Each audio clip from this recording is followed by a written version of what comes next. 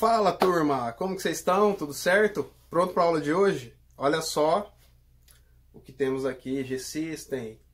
Vou falar um pouquinho dela, mostrar um pouquinho dos timbres, o jeito que eu exploro essa pedaleira. É, vou tentar resumir o máximo para o vídeo não ficar tão longo, porque essa pedaleira tem muito recurso. E na última aula a gente falou, falei um pouco da construção, um pouco da live, um pouco dos instrumentos, e hoje vou falar especificamente dessa aqui, G-System TC Electronics. Vamos lá!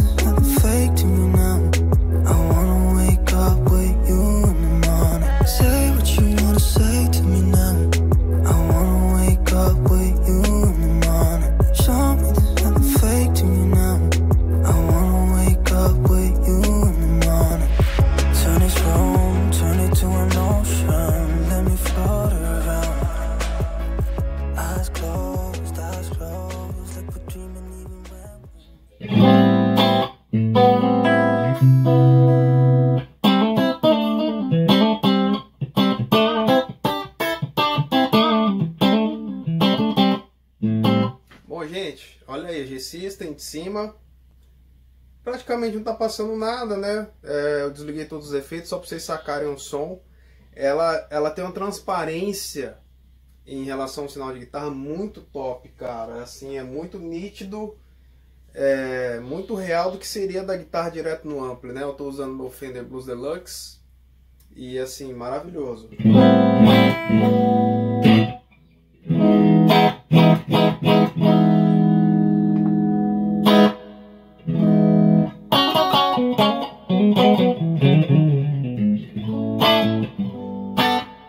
Reverb dela é muito bonito também.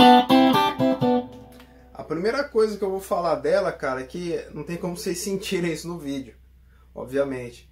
Mas, cara, ela tem uma sensibilidade nesses botões aqui que é impressionante, cara. Ele é muito macio, assim, muito sensível ao toque, ele é muito top. Então, é, eu acho que a ergonomia, o jeito que ela foi projetada, o espaçamento entre os, os suítes, cara, é tudo perfeito. E ela é muito robusta, né? Como eu falei no, no último vídeo. A gente tá sem pedal nenhum ligado, certo?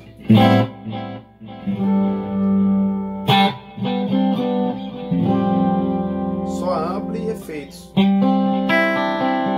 Como eu falei pra vocês, ela não tem simulação de ampli, não tem nada, cara. É uma pedaleira, né? Na verdade, depois eu não sei se deu pra ver nos vídeos que eu já, já mostrei dela. Ela é um rack embaixo, né? Tanto que se eu quiser pegar o rack e colocar, sei lá, junto com o meu amp atrás do palco e usar ela só para controlar, eu posso. Ele, ele desencaixa embaixo. Isso é bem legal.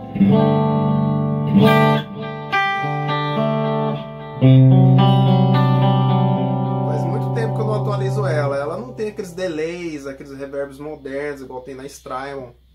Mas assim, cara, suficiente.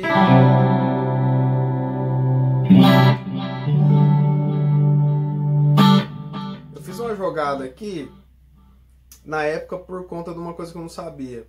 É, eu vi alguns fóruns que dá, por exemplo, para eu usar o, o switch do pitch e colocar um delay. Né? Na época eu não sabia, né? Na verdade, essa pedaleira sabia muito pouco dela em português, né?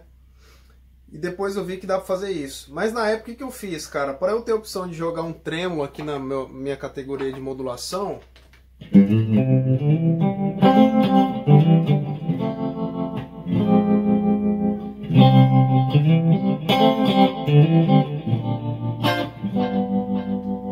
Eu joguei meu chorus aqui, né?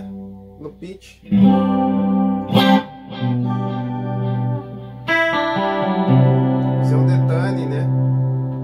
O que eu uso mais, eu uso mais que o chorus.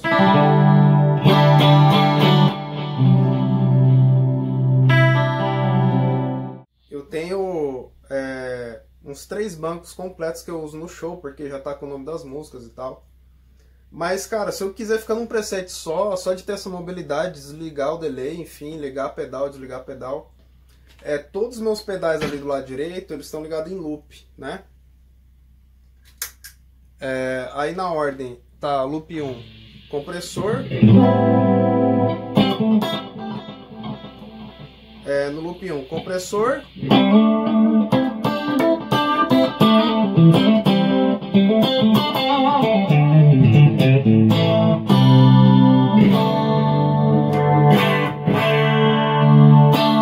Então assim, a vantagem, o sapateado, é, esse aqui ele tá meio barulhento. Ele não, não acontece porque eu deixo meus pedais ligados aqui do lado direito o tempo inteiro.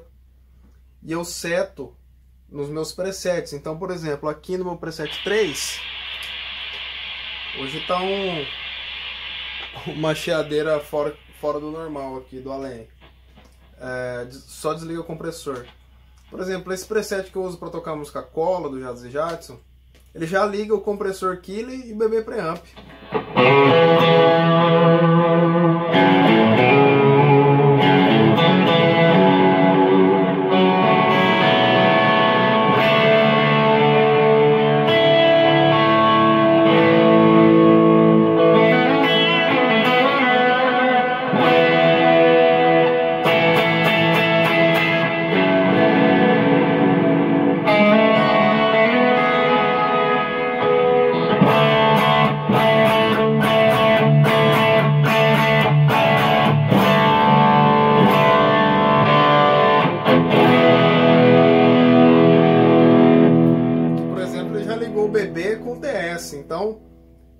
Pedais analógicos, eles ficam programados dentro da pedaleira. Certo? Então, assim, questão de preset, cara, eu tenho esse preset que tá até com o nome errado, mas ele é um trêmulo.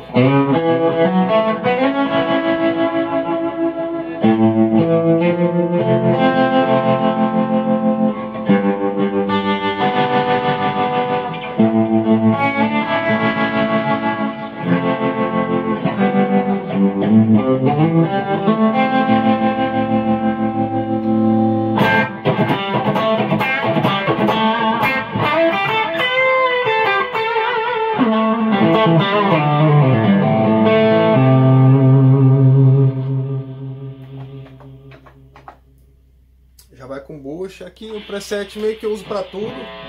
Vou desligar o compressor que tá meio barulhento hoje. Esse é o preset que eu meio que toco o show inteiro com ele. Né?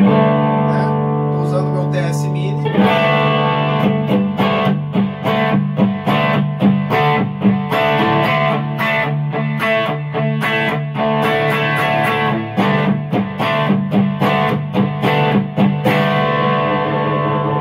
Lembrando que eu tenho um tap tempo aqui, né, cara? Consigo colocar o delay no, no time da música. Isso também é maravilhoso aqui, o tap tempo aqui, ó.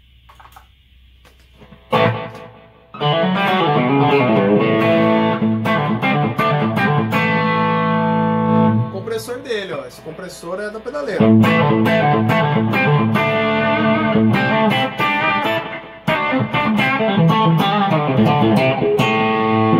Compressor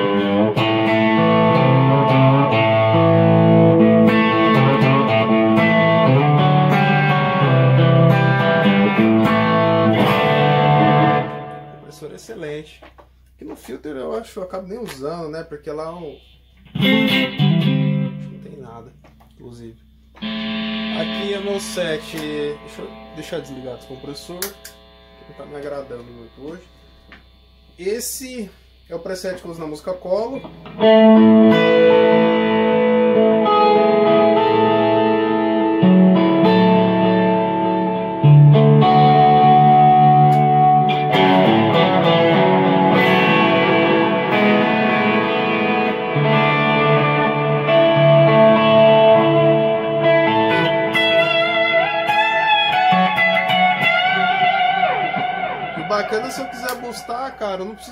Meu pedal, eu piso aqui, né?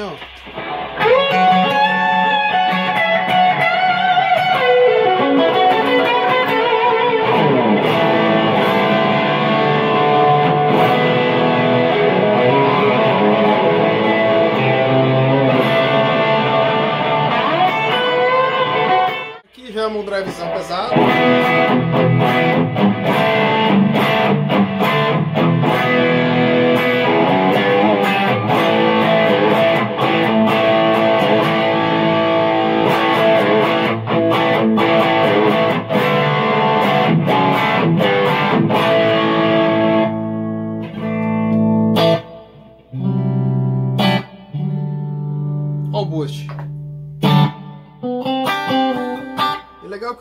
Você consegue, você tem 6 dB, você pode colocar a quantidade que você achar melhor para cada preset, cara. Isso é muito massa. Subindo aqui, é meu banco 01.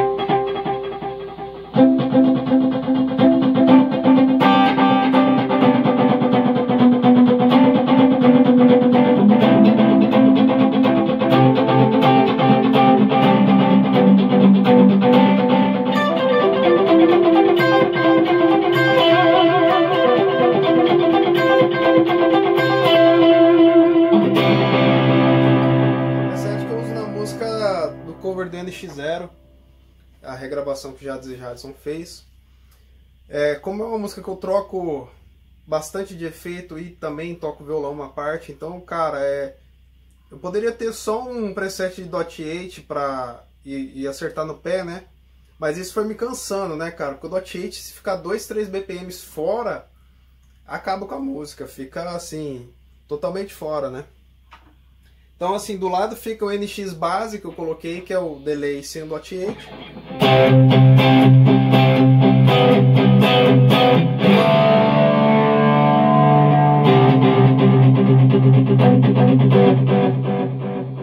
O mais legal que eu acho dela, cara, na hora que eu troco, eu saio do dot 8 pro, pra base com pouco delay, o delay não corta, cara. Isso é maravilhoso, ó.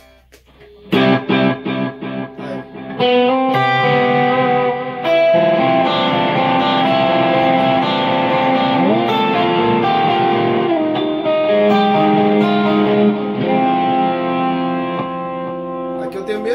Para a música da Peach.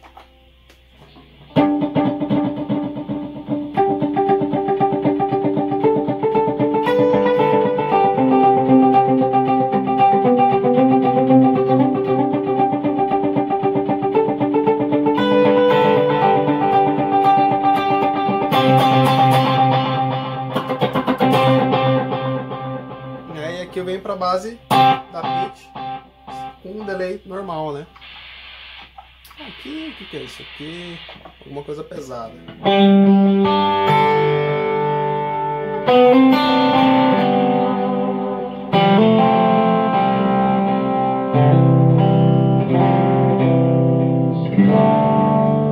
Vale lembrar que essa pedaleira tava. Ela está sem revisão porque a nossa última turnê parou em março, né? E essa semana que eu fui usar ela de novo, graças a Deus estava tudo funcionando, mas essa parte de cabo, tem que dar uma, fazer uma limpeza nela. A estrada judia bastante, vocês podem ver que meu pedalboard está bem judiadão. Os pedais também arranhado, porque a estrada, o negócio é tenso. É, eu falei disso na, no outro vídeo, que uma coisa que eu achei legal, porque eu colocava muitos pedais na estrada e dava pau na fonte, dava pau num cabo. Cara, eu uso praticamente três pares de cabos pequenos para os pedais, né? Seis cabos eu não preciso usar fonte de alimentação para os pedais, porque a própria G-System alimenta até quatro pedais. Então isso é muito massa, é muito prático. Então sai só meu AC aqui, ó. Acabou, cara. Ele é bivolt automático, você não precisa ficar grilado. Puta, mas é bivolt, é 220? Não, cara, ele é isso aí. E aí, galera, gostaram desse vídeo? Espero que vocês tenham gostado. É, a gente sempre vai falar sobre tudo, como eu sempre digo aqui. Estou é, sempre aberto a sugestões de vocês. Semana que vem a gente tem mais enquete. Depois a gente vai começar a falar também dos pedais. Tem uns pedais de overdrive aqui muito legais da Tonic que eu quero falar sobre eles. E é isso aí. Tamo junto. Bora crescer junto. Valeu!